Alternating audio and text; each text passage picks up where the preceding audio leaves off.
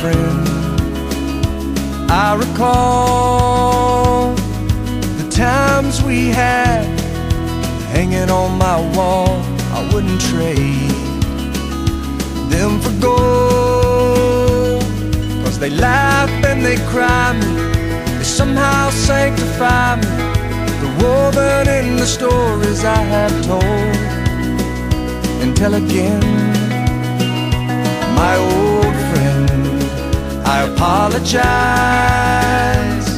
for the years that have passed since the last time you and I dusted off those memories. But the running and the races, the people and the places, there's always somewhere.